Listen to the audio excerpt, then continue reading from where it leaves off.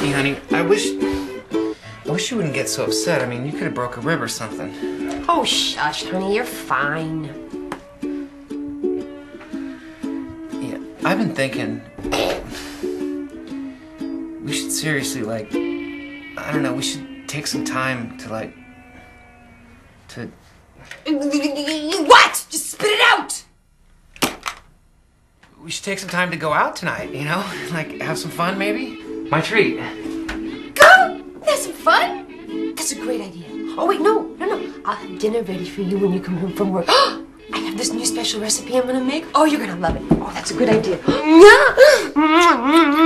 I gotta go to work. I love my little lamb chop.